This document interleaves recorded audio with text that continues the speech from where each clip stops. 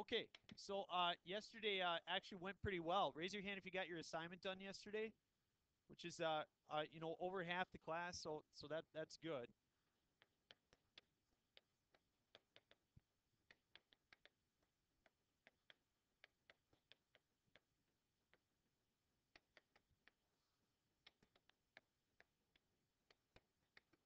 Okay, so applications to economics continued. Uh, this is what we did yesterday. Um, yesterday we talked about cost. Uh, today we're going to talk about um, uh, profit, okay, and revenue. And so this is again from section uh, 4.9.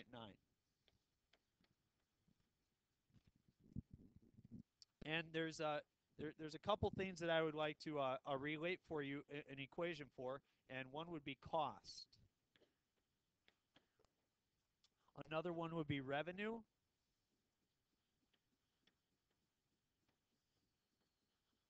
And the last one would be profit.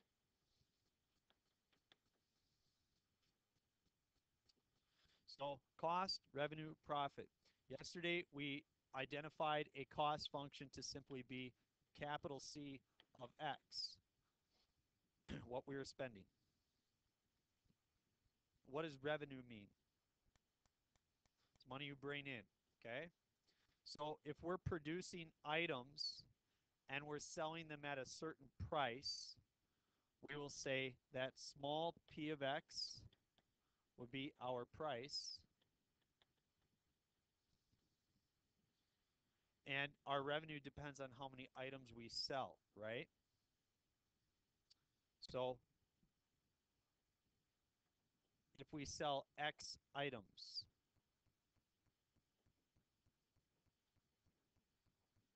small p. So X number of items times the price for those items would generate our revenue, which we will call R of X, which is X times small p of X. And I just do that in order to really be able to write the profit function. How would you express profit?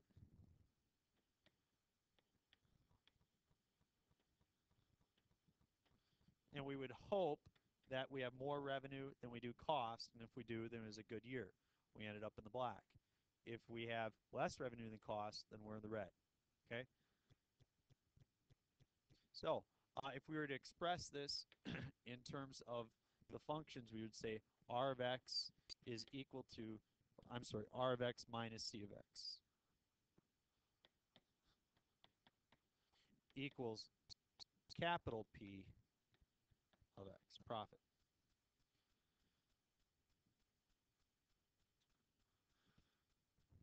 What do you think we would like to do? In calculus, we like to take derivatives. We like to maximize things. We like to minimize things. Yesterday, we minimized what? Cost. And we minimized cost by finding uh, where the average cost function was equal to the marginal cost function. Well, today we are going to try to do what, do you think? maximize profit. In order to maximize, you need to take the derivative and set it equal to 0. Very good. Derivative of the profit function is equal to, if they're subtracting, do I have to use the quotient rule or product rule? Nope. I can just do r prime of x minus c prime of x. And we take that derivative and we set it equal to 0 equals r prime of x minus c prime of x. Yesterday we did a little trick by moving something over. What can you do?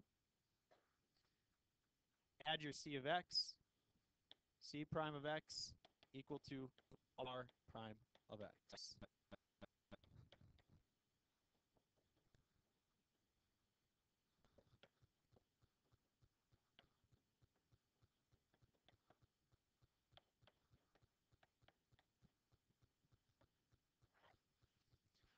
When the derivative of the cost function is equal to the derivative of the revenue function, that is when our maximum profit occurs.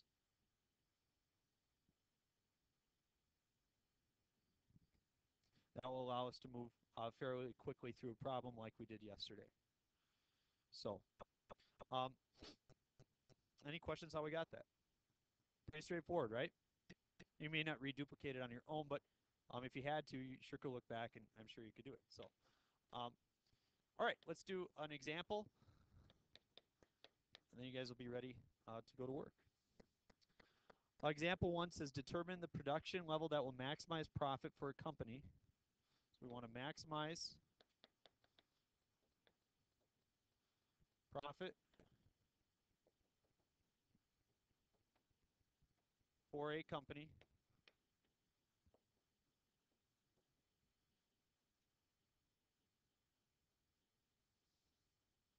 Given.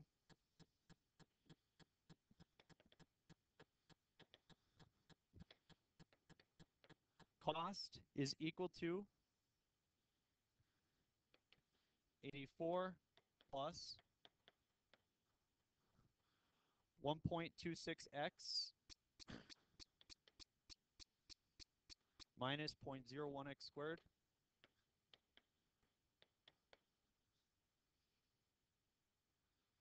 plus 7 with four zeros.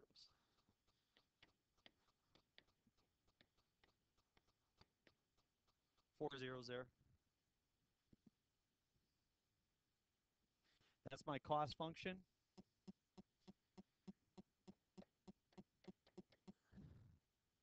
my price function, my demand function, is equal to 3.5 minus 0.01x.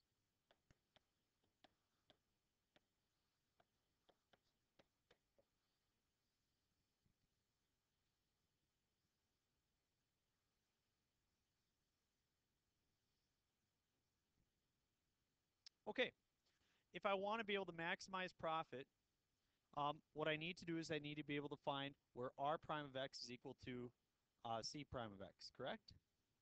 Well, I do have c of x, don't I? Okay, so we need to write down a, a revenue function. We already have c, but let's write down a revenue function. So revenue, so r of x is equal to what? What did we define that to be? X times p of x. Revenue is the number of items that we're producing times the price at which we're selling them. Yep. Uh, no, we don't know yet. We're going to decide how many we should produce in order to maximize our profit. Okay? So we'll define our revenue as x times p of x, which is equal to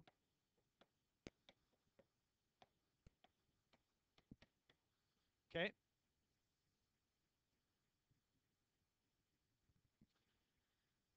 And it says, again, that max profit occurs where the derivative of the revenue, which is marginal revenue, is equal to the derivative of cost, which is the marginal cost. Remember yesterday when we took the derivative of cost, we came up with marginal cost. Derivative of the revenue is marginal revenue as well.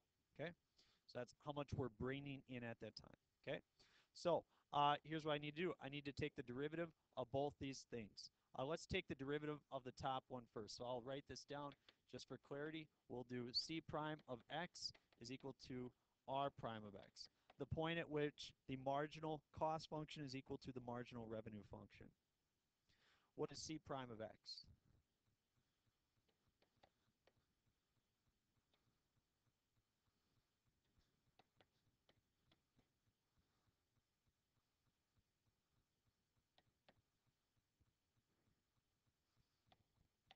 One, two, three, two, one, x squared. Yeah?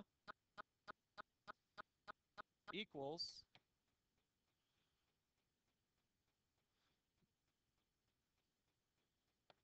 three point five minus zero point zero two x. Okay. So it, it looks kind of bad, but in fact we have a quadratic, which we know we can solve using the quadratic formula, correct? Okay, so that's not that bad. So all I need to do is just gather terms on each side and then use go ahead and use my uh, use my quadratic formula. So uh, let, let's gather things over here. I looks like I have a point zero zero zero two one x squared. So zero point one two three two one x squared.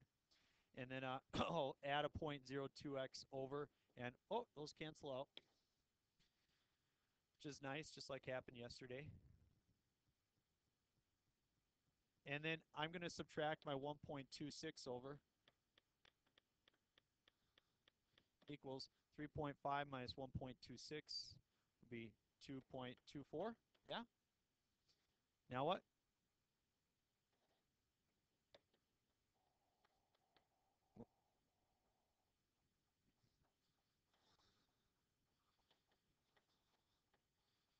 Whoop, three of them.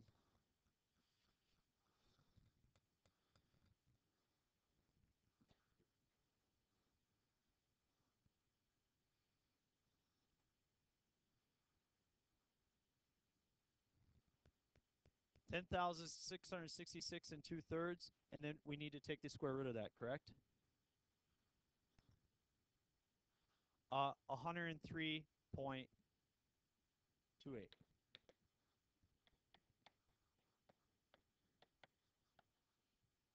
Hundred and three point two eight.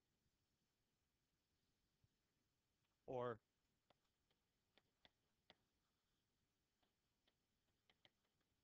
103 units to produce. Okay.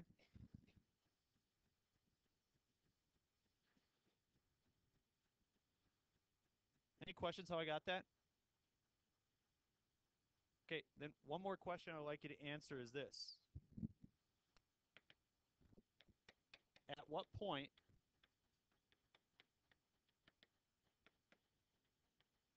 does the marginal cost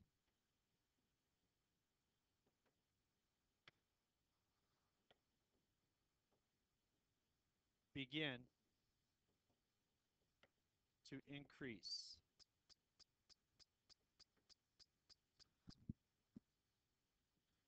Okay, so here's what I'm talking about. If you draw this, this this will help you kind of kind of see. If we were to look at our cost function, it's very possible that you may see something like this. Okay, the cost of producing such items will look something like that. Okay. And as you're following along here, you can see that if you're here, the cost to produce the next item is the derivative, okay? And the more you move up, the less that derivative becomes. And you can tell that the derivative is dropping. What do we call this point where the derivative starts to go up? The inflection point. So if they're saying we want to look at where our marginal cost starts to go up again, that would be a bad point because that means we're overproducing if our cost, marginal cost is continuing to go up.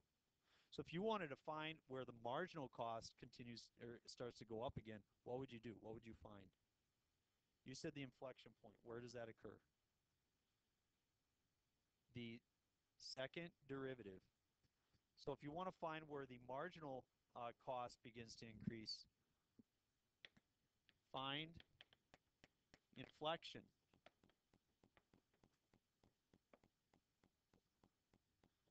f double prime of x equals 0. Find where that happens. I've already done f prime of x. We've already taken the derivative of the cost function. We got 1.26 minus 0.02x plus 0.00021x squared. What do you get if you take the derivative of that? Negative point zero zero two. I can't remember. I can't see it. Uh, plus three zeros. Oh, this one? Just point zero two. So negative point zero two. Yep. And then if you drop the 2 down, you get 0.42 times x. Set that equal to 0. So I take my second derivative, I set it equal to 0. So 0 0.12342x is equal to 0.21. I'm sorry, 0.02.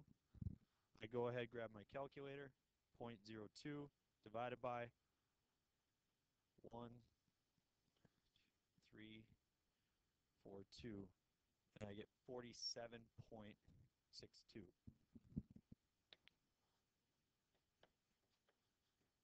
So I do need to uh, I do need to spend or I do need to produce 103 units in order to in order to continue to uh, you know to maximize my profit.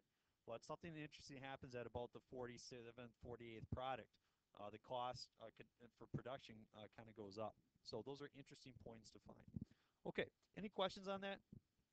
Okay, so here's your assignment.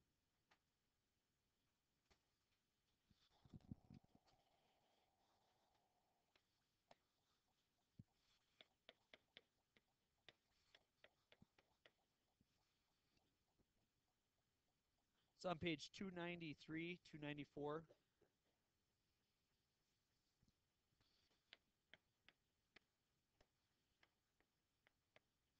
And uh, you, know, you have 20 minutes, and you should, some of you will probably get it done. So I have a couple word problems in there that follow uh, very similarly to what we've done, okay?